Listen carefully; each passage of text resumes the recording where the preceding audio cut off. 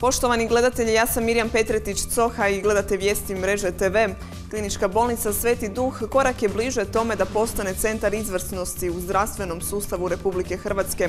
Tamo je otvoren suradni centar Svjetske zdravstvene organizacije za dječju oftalmologiju te izgrađena nova zgrada s odjelima patologije, citologije i gastroenterologije. Osim čestitki i riječi hvale za taj zaista hvale vrijedan projekt, Resorni ministar se očitovao i o nedavnim napadima na zdravstvene djelatnike. Prošlo je gotovo cijelo desetljeće otkako je stručni tim kliničke bolnice Sveti Duh započeo s nacionalnim programom za rano otkrivanje slabovidnosti kod djece, a od 1. siječnja svi trogodišnjaci i četverogodišnjaci dobit će poziv za besplatno rano otkrivanje slabovidnosti kako bi u naredne tri godine taj problem bio riješen kod više od 90% djece. Nastavak na tu uspješnu priču je otvaranje suradnog centra Svjetske zdravstvene organizacije za dječju oftalmologiju. Evo danas klinička bolnica Sveti duh ima posebnu proslavu, zapravo dvije proslave. Prva je otvaranje suradnog centra Svjetske zdravstvene organizacije, a to je klinika za očne bolesti kliničke bolnice Sveti Duh, što je vrhunac napora klinike u borbi protiv ambliopije i općenito u skrbi za dječju oftalmologiju. Samo desetak zemalja u svijetu ima takav nacionalni program i samo su dva suradna centra u cijeloj Europi za dječju oftalmologiju.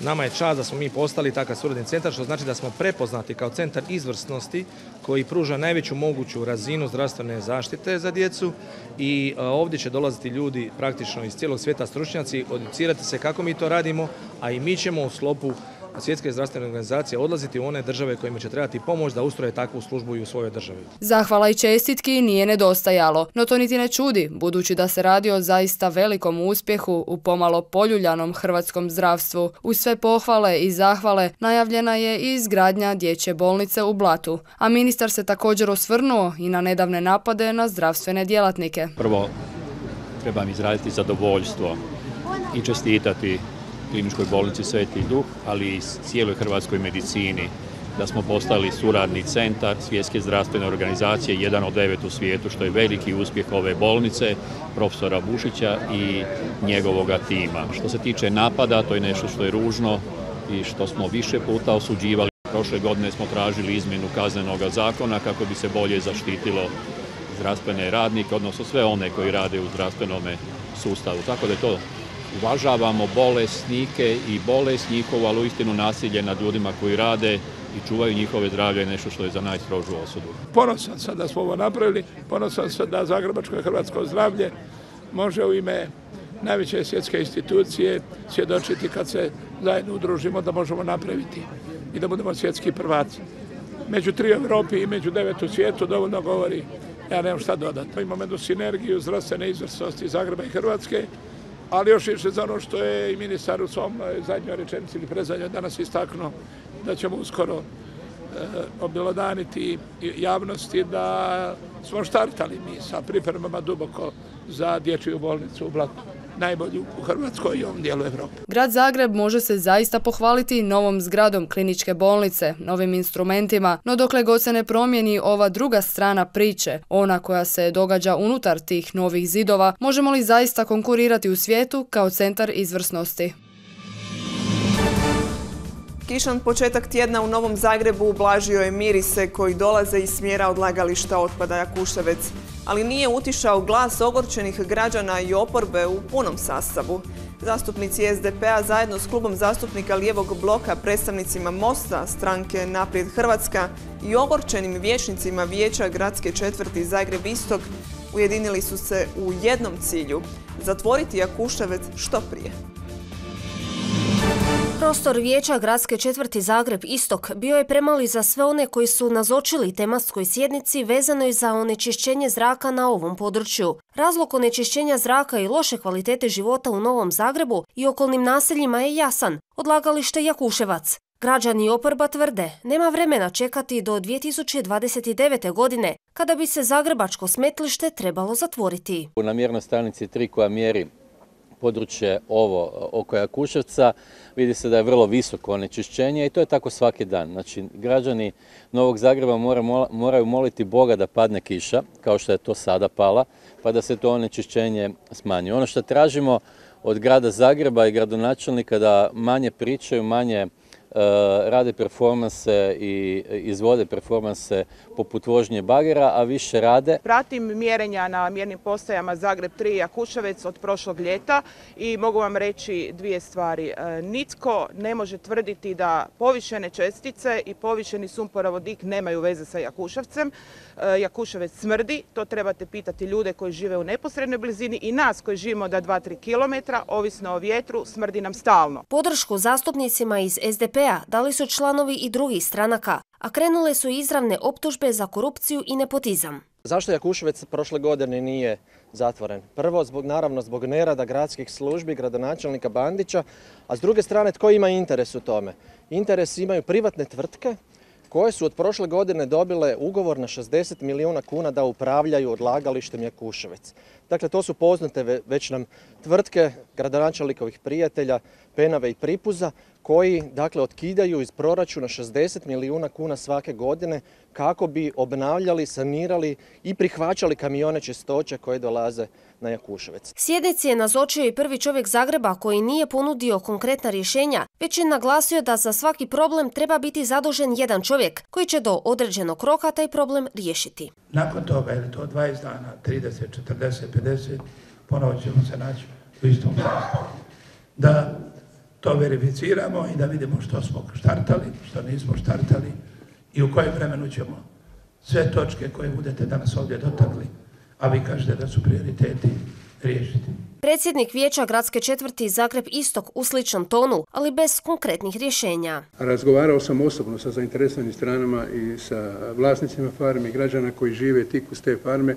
Zaključak je u prvoj nekakvoj, prvoj fazi da su te dve farme koje su jako blizu, ja neću ulaziti u, u njihove opravdanost postojanja, u njihove certifikate i dozvole, ali činjenica takva kakva je da su one za prvu ruku i molio bi ovdje prisutne gospodina Tuka koji je pročelnik za poljoprivredu, da to uzmemo u obzir, da, da krenemo. A krenuti je trebalo već odavno, jer građani Novog Zagreba, nakon dugogodišnjeg čekanja, zaslužuju udahnuti novi očišćeni zrak. Mještani općina Hrvatska Dubica, Sunja, Lekenik i Martinska Ves i ove će godine imati osiguran autobusni prijevoz od udaljenih naselja do središta Sisačko-Moslavačke županije. Riječ je o nerentabilnim autobusnim linijama koje zajednički sufinanciraju te općine i županija. Tek četiri autobusne linije dnevno prometuju do Farkašića, naselja na području općine Lekenik, zamještane bez vlastitog automobila te autobusne linije od životne su važnosti. Prvenstveno evo mislim na djecu koja putuju u srednje škole, na fakultete. Prva e, sljedeća moguća linija je koja je, evo, nije u pitanju, to je linija Zagreb-Sisak, znači do Žožine ovoga. E, radi se o prvenstveno isto tako umirovljenicima. Prepoznajući važnost tih autobusnih linija, iako su one autobusnom prijevozniku nerentabilne, Financijsku pomoć za njihovu opstojnost osiguravaju već godinama Sisačko-Moslavačka županija i same općine. Nažalost, e, naša županija je jedna od najvećih po teritoriju u Republici Hrvatskoj, ima i raspršenu cestovnu infrastrukturu, naravno i naselja koja su udaljena od glavnih prometnica gdje često puta imamo i loše prometnice, lošu povezanost. Bez suradnje općine i županije mještani udaljenih naselja bili bi zakinuti za niz životnih potreba. Dolaska do liječnika, do ljekarni, do sudova, do ostalih javnih ustanova. Uz sufinanciranje nerentabilnih autobusnih linija za dio pokuplja, Gornje i Donje Posavine te Banovine, suradnja općina i županije na poboljšanju prometne povezanosti prisutna je i kroz sufinanciranje skelskih mjesta prijelaza te su financiranje sanacije i izgradnje županijskih prometnica. U zadnjih nekoliko godina obnovili smo i nekoliko, neću reći nekoliko desetke kilometara županijskih cesta,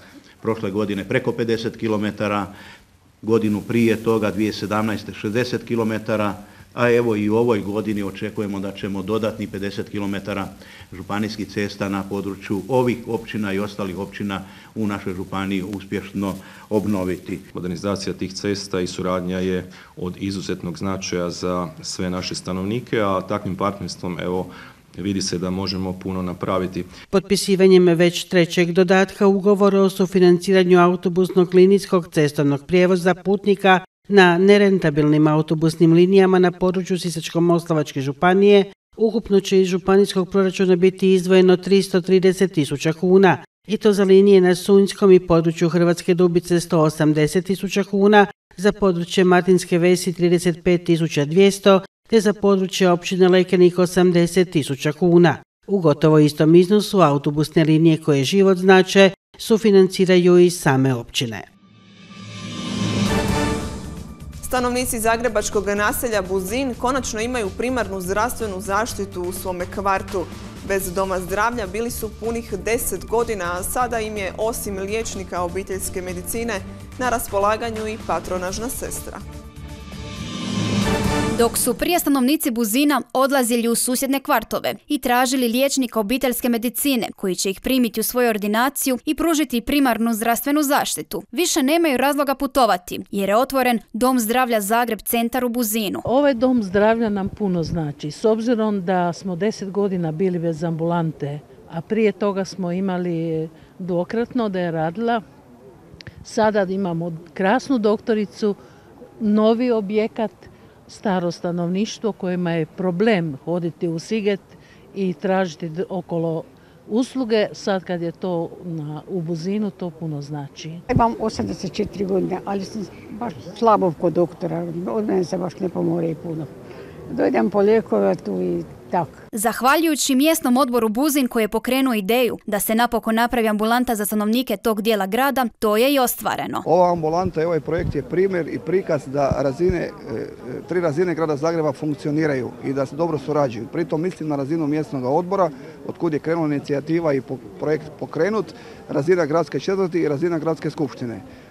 Ne, ne trebam vam govoriti koliko su mještani zadovoljni i sretni. Dom zdravlja za stanovnike Buzina potpuno je nov. Rađena je od nule, rađena je kako treba, Kompletni projekt je bio milijun i šesto tisuća kuna, dobili smo 140 kvadrata prekrasno uređenog prostora u kojem imamo ne samo ambulantu obiteljske medicine i doktoricu obiteljske medicine, nego imamo i patronažnu službu i patronažnu sestru. Prepoznali su kako je stanovnicima Buzina potrebna i usluga patronažne sestre, koja je od velike koristi obiteljima s novorođenčadi, te je ona dobila prostor u Domu zdravlja. Vrlo lijepo, ugodno, omogućava mi kvalitetan rad. E, pacijenti su mi dosta blizu, mogu lijepo raditi grupne radove za potporu dojenja, mogu vagati svoju dječicu ovdje u svom prostoru. Posjet Novom domu zdravlja nije propustio ni zagrebački gradonačelnik, koji je napomenuo kako treba ulagati u zdravstvene ustanove. Sad otvaramo zdravstvene stanice. Sad kad više ne možemo hedonizam, možemo nešto korisnije napraviti. Da, jer je tu bio jedan prekrasan lokal. A i ovdje je bilo nekad grabše na tavče. Da evo, baš tu. Prema tome, umjesto Gravše na Tavče, dom zdravlja, bolje. Najvažnije je da stanovnici Buzina napokon imaju na raspolaganju dom zdravlja, koji će im biti od velike koristi za bilo kakve njihove zdravstvene probleme. Sisačko-Moslavačka županija srednjoškolcima nastavlja sufinancirati smještaj učeničkim domovima. Riječ je o potpori koju primjenjuju od 2010. godine. Ona je od prošle godine proširena i to na način da županija smještaj u jedinom svom učeničkom domu dodatno sufinancira. Pa u njemu smještaj krajnje korisnike u konačnici ne košta ništa.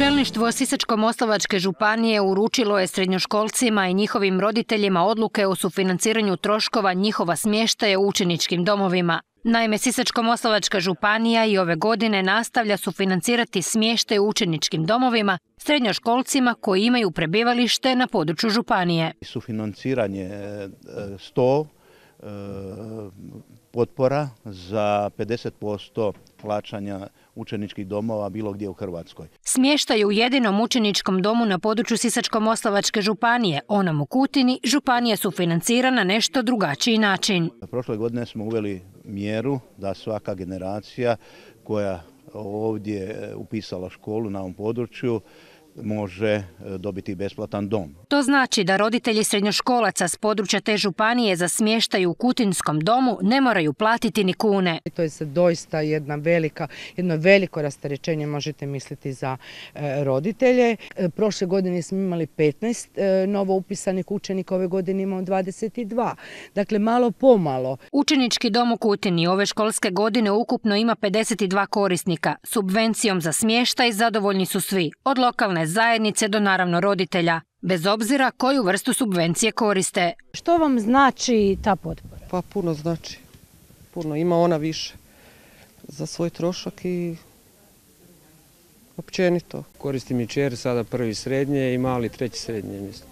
I sad, pošto sam roditelj sa osmero djece, to mi jako puno znači u životu, olakšanje znači da mogu reći svaka pohvala. Koristim priliku da zahvalim našoj županiji što su omogućili e, ovoj djeci da imaju besplatan smještaj u ovom učeničkom domu. Sisačko-moslavačka županija godišnje iz svog proračuna za sufinanciranje smještaja srednjoškolaca u učeničkim domovima izdvaja tristotinjak tisuća kuna. Kako su poručili za posjeta domu u Kutini, nemaju namjeru stati s tim subvencijama. Prvi put ove godine policijska uprava Bjelovarsko-Bilogorska zabilježila je kazneno dijelo razbojništva uz prijetnju vatrenim oružjem. Takvog oružja, posebice onog nelegalnog na području Bjelovarsko-Bilogorske županije ima puno.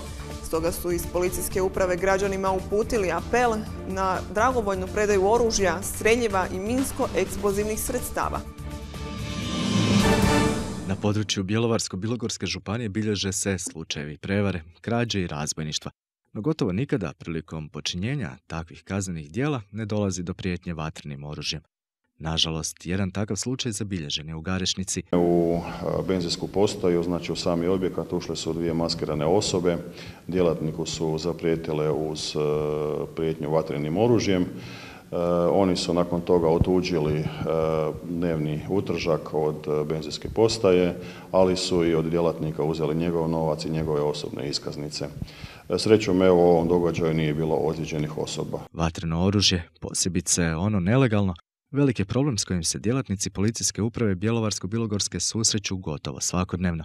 Nasreću, velika većina građana je svjesna koliko štetno može biti posjedovanje nelegalnog oružja, streljiva i minsko-eksplozivnih sredstava. Ne znam da li je to za pohvaliti ili možda lošija činjenica, ali građani naše županije su među nekih tri do četiri županije koje e, predaju najviše znači oružja e, od strane građana. Akcija manje oružja, manje tragedija traje i dalje poručuju iz policijske uprave Bjelovarsko-Bilogorske. Ja bih i ovom prilikom iskoristio mogućnost da apeliram na građane koji kod svojih kuća znači drže oružje, streljivo ili minsko eksplozivna sredstva bez odobrenja, znači rekao bih nezakonito oružje, da, je, da još uvijek to dakle mogu, zakon nema vremenske ograničenje, da to mogu predati dragovoljno policiji E, dovoljno je nazvati telefon 192, izraziti želju e, da želite nešto dakle dragovoljno predati. Sankcija za dragovoljnu predaju nema. No ako policija dođe do saznanja da posjedujete oružje, streljivo ili minsko-eksplozivna sredstva koje niste prijavili i dođe do postupanja, oprosta nema. Slijedi vam prekršajni ili kazneni postupak. Karlovački dobrovoljni darivatelji krvi već tijekom siječnja ove godine imali su četiri akcije u kojima su dali više od 300 doza i time iskazuju svoju humanost. Njihov broj se povećava iz godine u godinu, pa je tako tijekom prošle godine evidentirano 227 više darivatelja nego godinu ranije. Karlovački su dobrovoljni darivatelji krvi do sada bezbroj puta pokazali svoju humanost, pružajući pomoć u nevolji najčešće nepoznatima kojima su na taj način spasili život. Prošle godine prikupljeno je ukupno 3318 doza, što znači da su isto toliko puta darivali krv. Kako su se ovi humani ljudi odlučili, napomenimo na redovito darivanje krvi prema rasporedu kojega priprema Gradsko društvo Crvenog križa Karlovca s odjelom za transfuzijsku medicinu Karlovačke opće bolnice. Evo, tako razgovor prijatelja i napravimo kako dobro djelo, bez obzira kome, prihvatio sam to i sad sam u nizu sve te godine. Damir Herak odlučio se na ovu humanu gestu darivanja krvi prije deset godina. Karlovački košarkaš Antonio Špehar smatra da svaki čovjek mora shvatiti kako i sam može doći u situaciju u kojoj će trebati krv drugoga. Darivatelj sam u godinu i pola, ovo mi je peto darivanje, odlučio sam se radi pomaganja drugim, s tim da imam relativno ovaj, rijetku krvnu grupu nuga pozitiv koja može pasati svima. Mislim krvi uvijek su neka dobra nadarivanja, daraju bi više da se, da se može. Karolčanka, dobrovoljna darivateljica krvi Nada Šoštar kaže kako se treba priključiti ovoj velikoj obitelji dobrih ljudi jer darivanje krvi je najmanje što možemo dati za spas ljudskog života. Odlučila sam se za dava, dobrovoljno davanje krvi zato jer sam ja kao dijete često operirana, znači primala sam tuđu krv i to mi je bio prvenstveni poticaj da se na neki način odužim i da pomognem svima kojima je to jedina moguća pomoć. Gradsko društvo Crvenog križa Karlovca organizator je akcija dobrovoljnog darivanja krvi i za općinu Krnjak, Draganić i Lasinju. Darivanje krvi je e, kontrola zdravlja, jer na taj način si oni kontroliraju svoje zdravlje svaka e, tri mjeseca, odnosno žene svaka četiri mjeseca, a sam čin e, darivanja krvi su građani prepoznali i oni na svaki naš apel i na svaku našu akciju odazivaju se u vrlo velikom broju. Istaknimo da svaka zdrava osoba između 18 i 65, odnosno 70 godina starosti, može biti dobrovoljni darivatelj krvi. U Stubičkim toplicama je održan 12. Robokup, državno natjecanje iz robotike. Na ekipnom natjecanju učenika viših razreda osnovnih škola iz elementarne robotike sudjelovalo je 35 ekipa iz 10 županija te dvije ekipe iz Bosne i Hercegovine. Osnovci su se osim u programiranju robota i vožnji robotskih kolica natjecali i u konstrukciji robota. Održan je 12. Robokup, natjecanje u robotici koje organizira Hrvatska zajednica tehničke kulture. Robokup je ekipno natjecanje koje je namijenjeno učenicima od 5. do 8. razreda, dakle osnovne škole, i natječu se u ovom slučaju u rješavanju dva zadatka. Prvi zadatak je elektrotehnički, dakle mora sa, moraju sa nekim prekidačima, svjetlećim diodama, napajanjem napraviti određeni električki sklop poslije podne slijede robotičke konstrukcije, dakle mora se napraviti e, konstrukcija robotska koja prepoznaje boje loptica i raspoređuje ih u odgovarajuće posude. Najbolji na ovom natjecanju su nagrađeni pohvalnicama i plaketama, a glavna nagrada je 10 dana škole tehničkih vještina u Kraljevici. Kao popratne natjecanja imamo e, i takozvanu paralelnu vožnju robotskih kolica gdje angažiramo najmlađe, dakle od vrtičke dobi pa do e, nižih razreda osnovne škole. Natiču se u spretno, to je vožnja spretnosti, vožnja robotskih kolica i tu su naravno svi pobjednici. Pripreme za ovo natjecanje se održavaju tokom cijele školske godine, a nakon županijskih natjecanja najbolji su se došli boriti za nagradu. Do prije 20 godina to je još bila nekakva budućnost, danas je to već sadašnjost, ali isto tako budućnost. Mi u Stubičkim toplicama smo izuzetno ponosni na našu osnovnu školu i na našu, naš tim robotičara koji svake godine e, donosi lijepa priznanja za ovladavanje znanja iz robotike važno je i ulaganje u škole i dobre nastavnike koji znaju i mogu robote približiti djece. Samo ovo je još jedan dokaz da stvarno evo, mi u Krapsko-Zagorskoj županiji, naši ravnatelji, naše škole su izvrsne, naravno kada dobijete mogućnost domaćinstva jedne takve organizacije, znači da neko vas i cijeni. Na natjecanje su se pridružile dvije ekipe iz Bosne i Hercegovine dajući natjecanju međunarodni karakter. Drago nam je da su odabrali Stubičke toplice, to je nacionalno natjecanje, a naravno evo, mi ćemo se potruditi da ćemo biti izvrsni domaćini i predstaviti se u najboljem svijetu. Mi smo se i sami znate evo u proračunu za 2018. i 2019. godinu opredelili i preko 60% ulažemo u školstva. Mislim da ćemo se svi složiti da nema ni kvalitetnog gospodarstva e, bez školovane ljudi, tako da od ovih mali, od vrtičke dobi trebamo ulagati u djecu, trebamo ulagati u škole. Ulaganje u školstvo donijet još prilika za mlade buduće znanstvenike, pa robotika u Hrvatskoj ima svjetlu budućnost. Bilo je ovo sve u današnjim vijestima. Hvala vam na pozornosti i ostanite s nama. Slijedi vremenska prognoza. Želim vam ugodnu večer.